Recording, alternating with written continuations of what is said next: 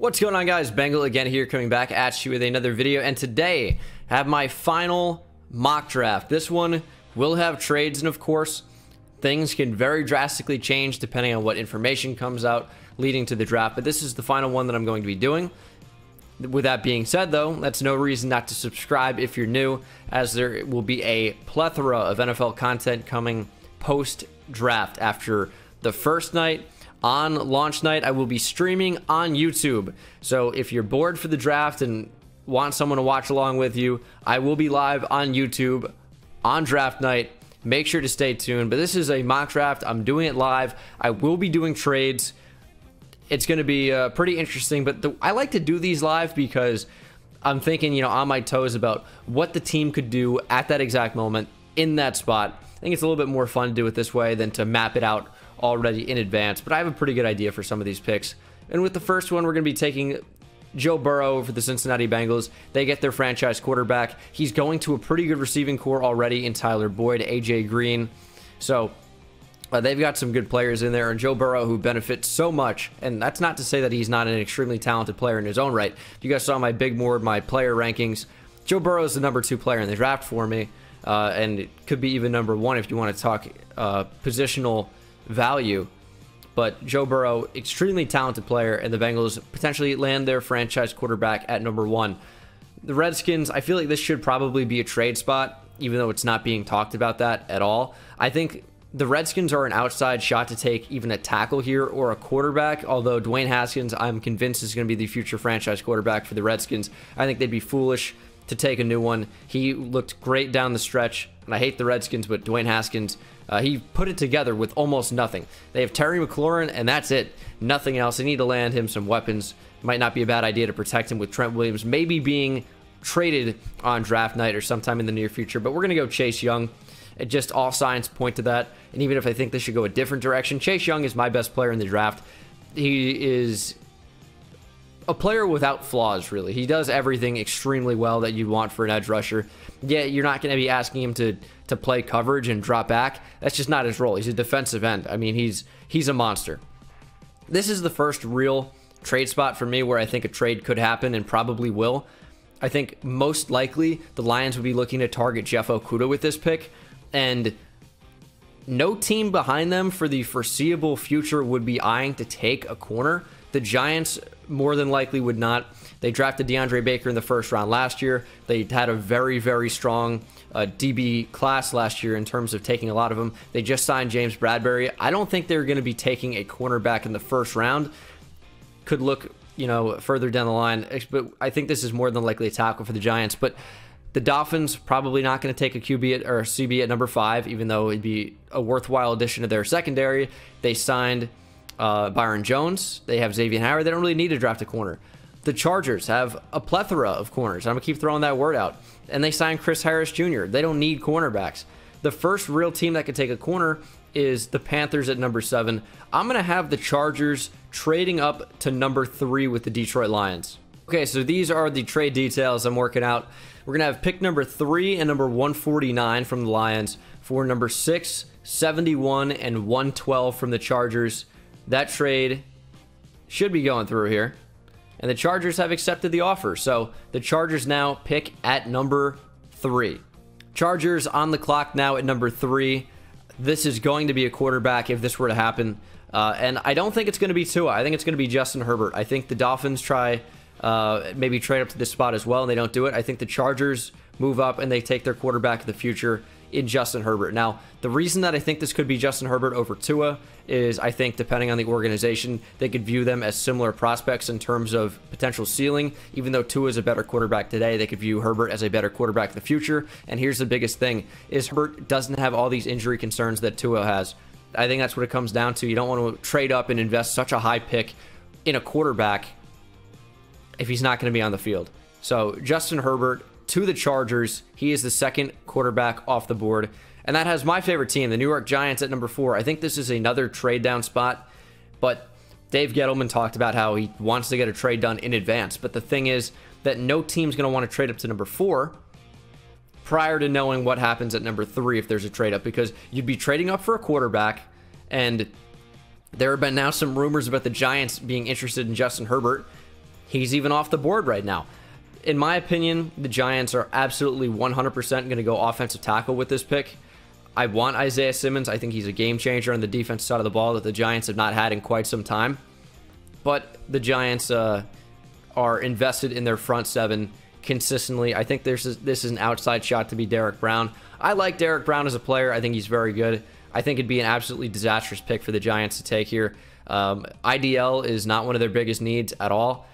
If the Giants were to take Derrick Brown, another nose tackle, I would uh, I would be super super upset. I think this is going to be an offensive tackle. It's not the most exciting pick, but there is, in my opinion, the best offensive tackle in the class, obviously on the board, as an offensive tackle is not gone yet. I think that's Jedrick Wills. He's the most pro ready, uh, the most uh, fitting day one starter in the draft. Currently ranked at number 12 on their big board. I don't care. He's the best tackle in the draft. Value him more than Wirfs, more than Becton, more than Andrew Thomas.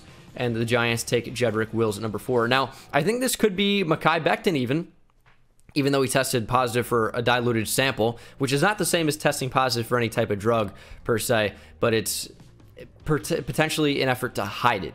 So that's what a diluted sample is. Um, this has happened before. Guys have slid a little bit in the draft. This could be Andrew Thomas. This could be Tristan Wirfs. I think it's going to be Jedrick Wills, though. I think he's the best tackle in the draft. So the Giants take him at number four. Dolphins at number five. They've seen Herbert go off the board. They saw Burrow go off the board. This is a team that probably is in the market for a quarterback with this pick. And maybe their favorite one in the draft fell to them at number five. Again, you have some injury concerns, but we're going to have the Dolphins taking a quarterback at number three in Tua Tagovailoa. Lions back on the clock, traded back from three, and the player that they want still probably on the board in Jeff Okudah, and he is headed to Detroit. He's going to be a nice cornerback pairing with Desmond Trufant. Panthers on the board at number seven.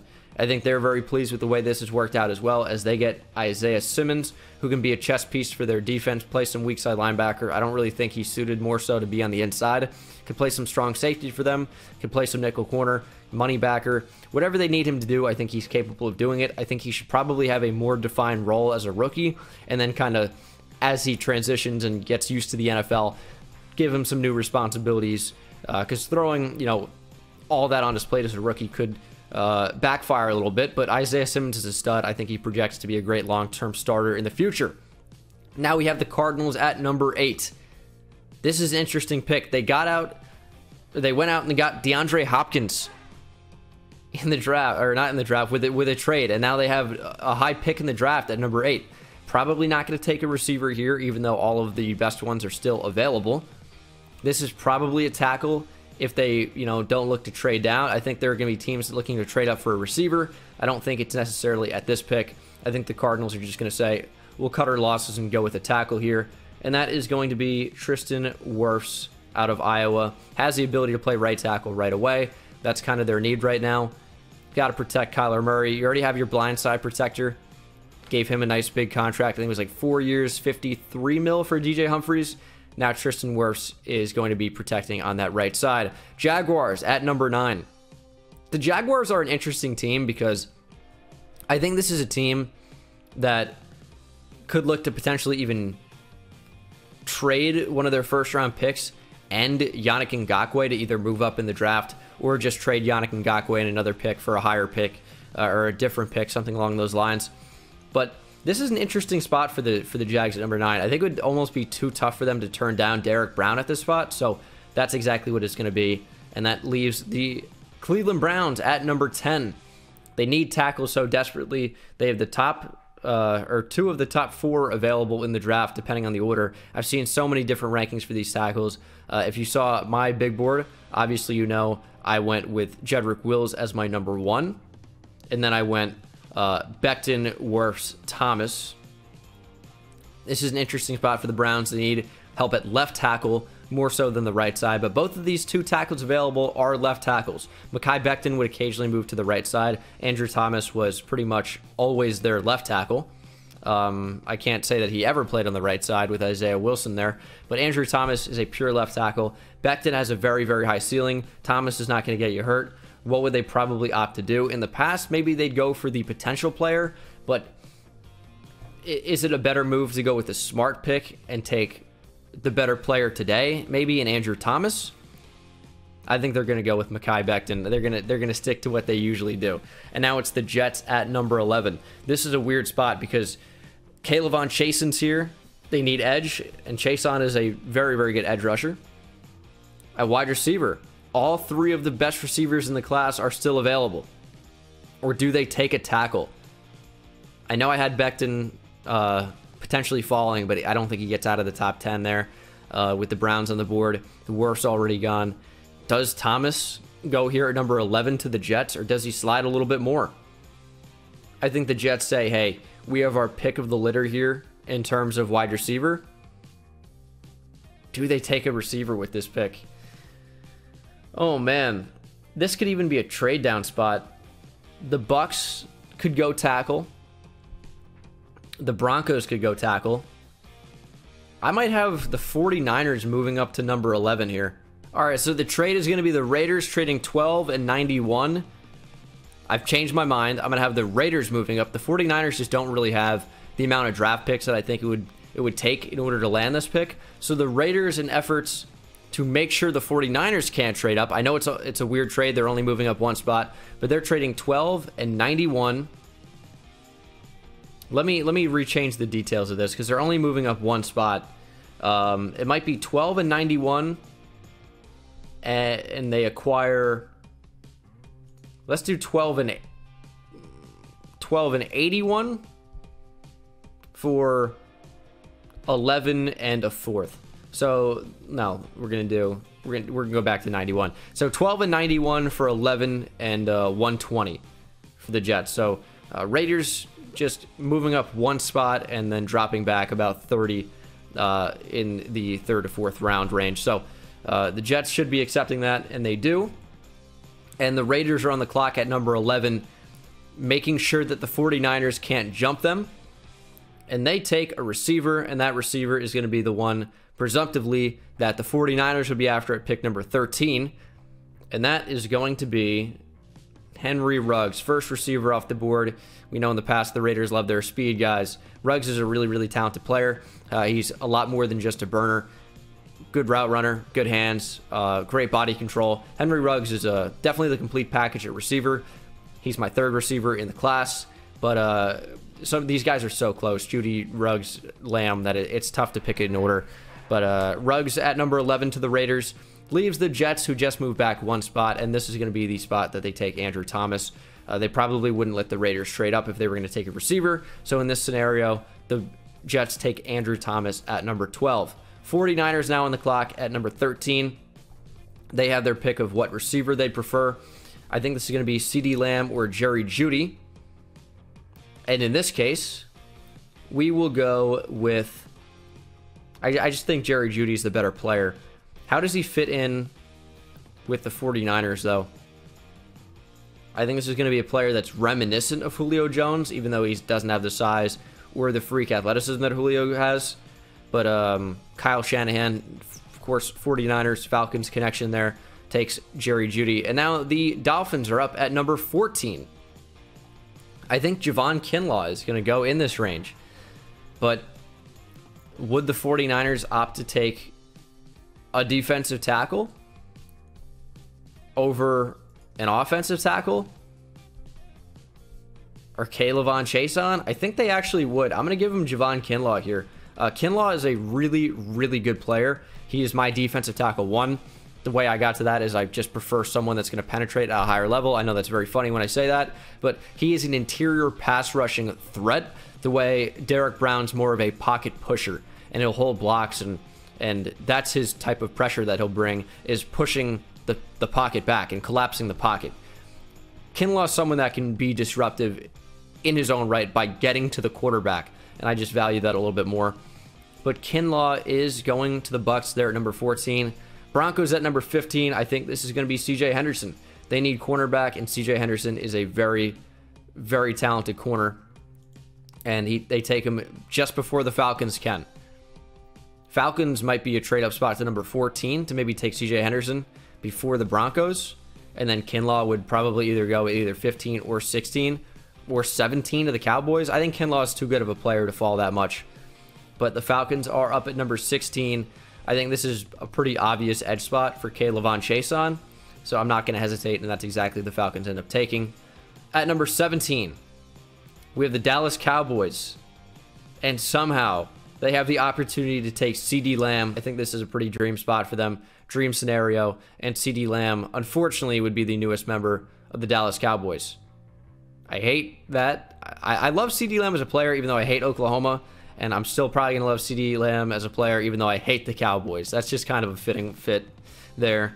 And uh, the Dolphins are back on the clock at number 18 here. This is another interesting spot. I feel, I feel like I've had Josh Jones going here forever. But I don't know. Is he really the best fit? I think I think they could invest in um, so many different positions due to the strength of their roster as a whole uh, being not very strong. This could be a good trade back spot for the Dolphins. Now, who would be looking to trade up and who would they be trading up for? This could be the Eagles up to 18. I don't but why would the Eagles do that? Would the Jags take a receiver? Maybe at number 20. The Raiders probably would not. That's probably Patrick Queen there. Actually, it probably isn't Patrick Queen. They signed Nick Kwiatkoski and Cory Littleton, I'm not sure that they would take a linebacker. In fact, they probably would not. The Jaguars might, but they have Myles Jack. He signed a long term extension. They brought in Joe Schobert. And if they bring Telvin Smith back, and I only say that it's not contract related, he just took a year off from football last year, they wouldn't really need a linebacker.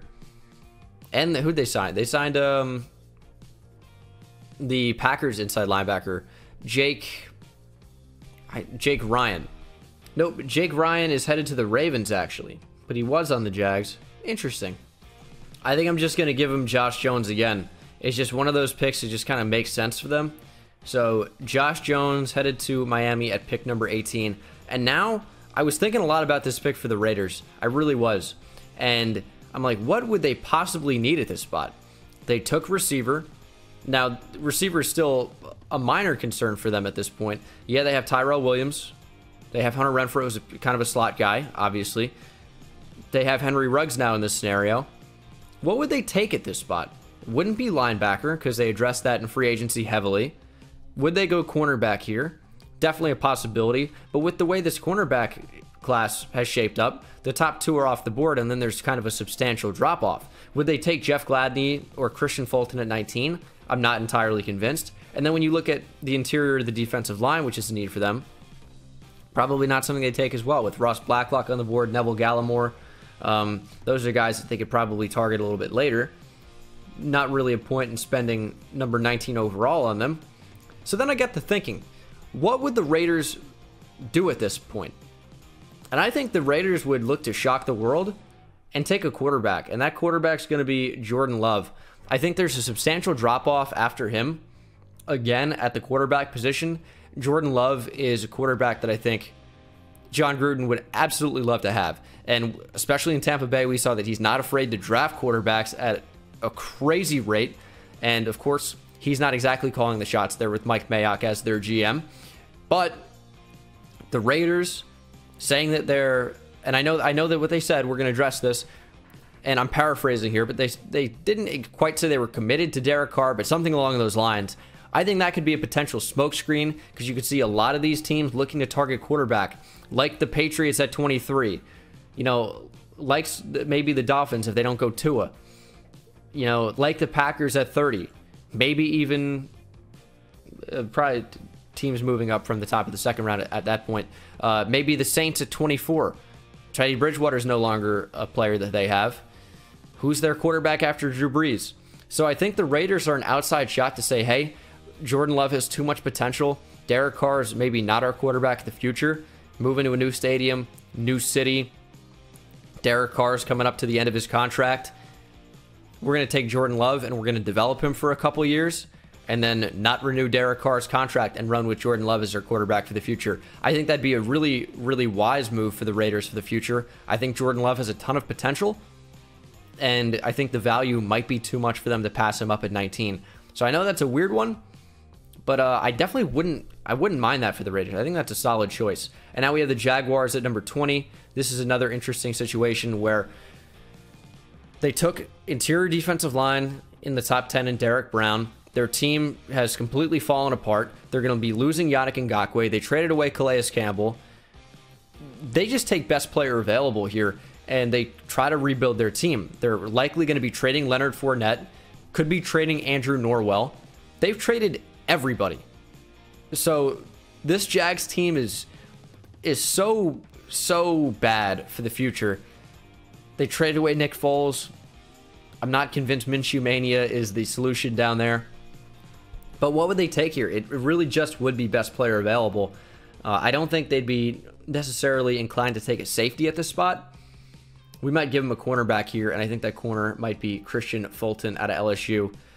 And um, they traded away Jalen Ramsey, obviously, last year, but that's not so recent. But Kristian Fulton to the Jags at 20, leaving the Eagles to go Justin Jefferson at number 20. Vikings are another team that is not exactly fallen apart, but they've lost some big pieces. Might be moving Anthony Harris on draft night. Of course, they lost Linval Joseph. They cut him. You know, they, have lost a, a, lot of players. Stefon Diggs was traded to Buffalo. Almost too many to name at this point. The Vikings are in a weird situation for cap, but they're still a team that's going to compete to win the NFC North. What would the Vikings do at this spot? Some of the top receivers are off the board. Receiver is a need for them. Outside of Adam Thielen, there really is not much. There is not much. So what would they do at this spot? Interior offensive line is a need. Cornerback is a need. Wide receiver is a need. What would they take here? Now, I think this would either be Jeff Gladney or maybe even AJ Terrell. I think AJ Terrell has Vikings written all over him. Or receiver. This is a really strong receiver class. Who would the Vikings take here if they were to go receiver? I think it would be. I think Reagor makes a ton of sense. I don't know.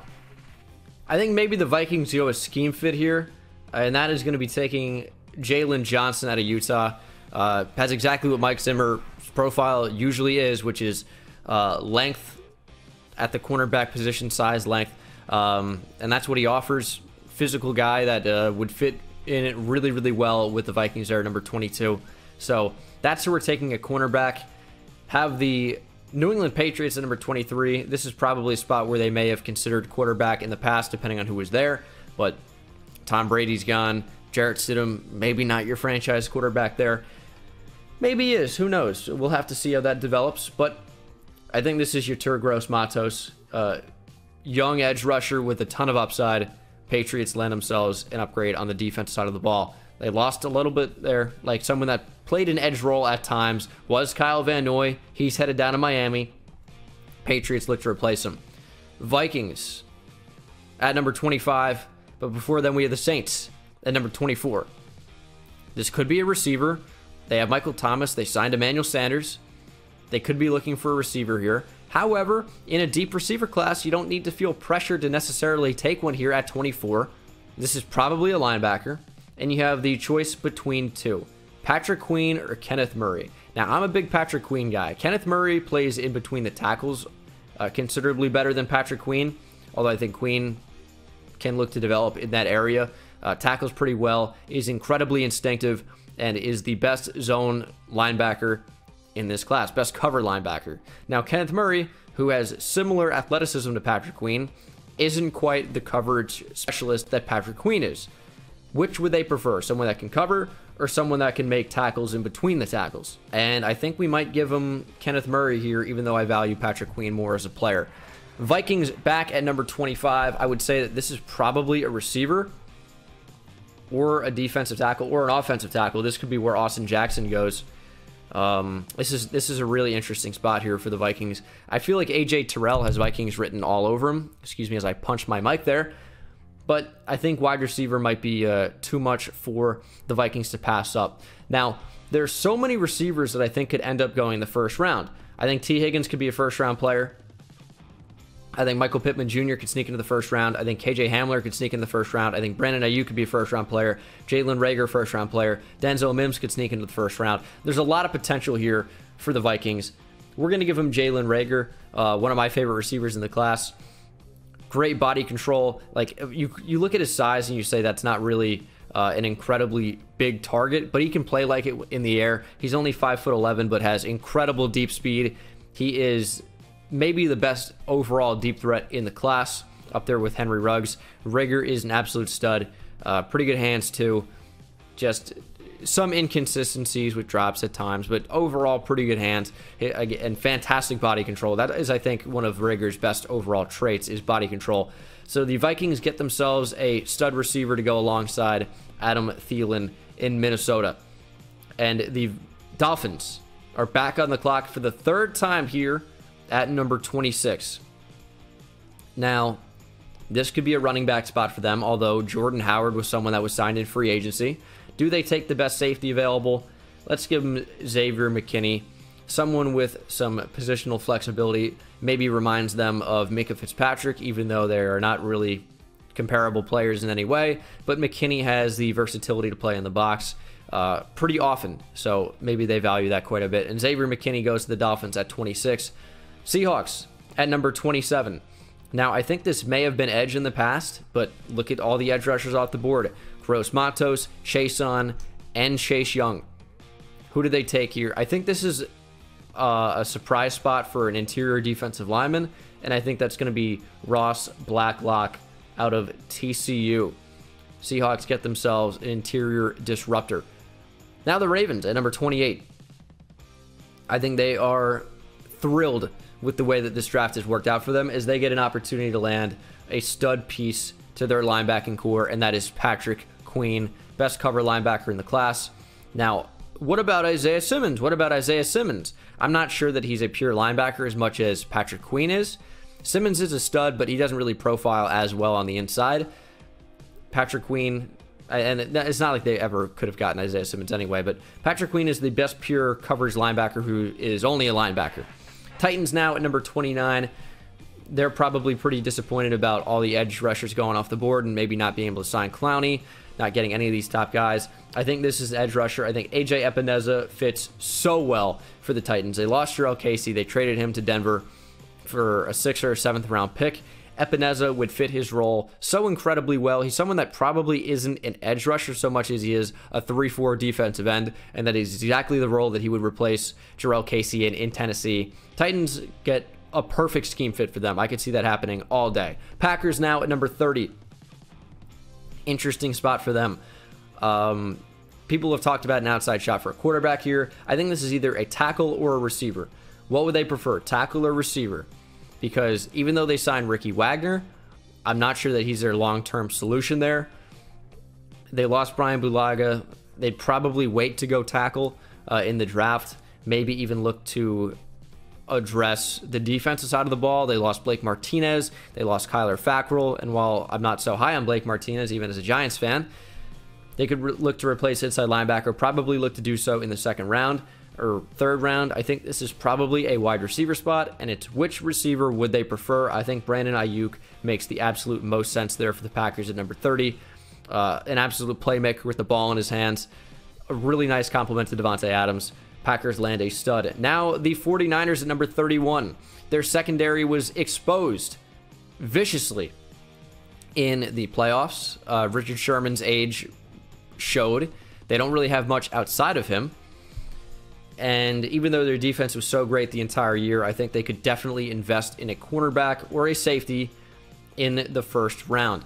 Now, that's either Grant Delpit, that is potentially even Antoine Winfield Jr. I actually like that a lot for them. He's someone who's uh, reminiscent of what they probably thought Jimmy Ward could turn into.